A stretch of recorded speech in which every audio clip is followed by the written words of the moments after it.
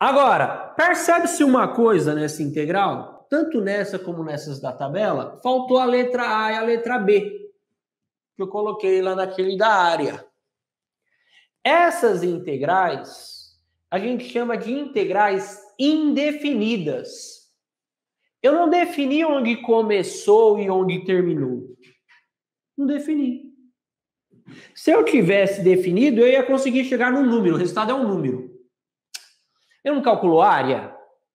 A área vai ser o quê? 10 metros quadrados, 25 metros quadrados, 23 centímetros quadrados, 23 milímetros quadrados. É um número. Não estou calculando área, o resultado vai ser um número. Certo? Aqui não. Na integral indefinida, eu não estou definindo onde começa e onde termina. O resultado não é um número, o resultado é uma outra função. Integral de cosseno é seno, é uma outra função. Integral de seno é menos cosseno. Professor, você está bugando minha mente. Daqui a pouco você vai entender. A gente vai fazer das duas.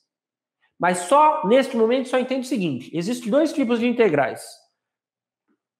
Uma integral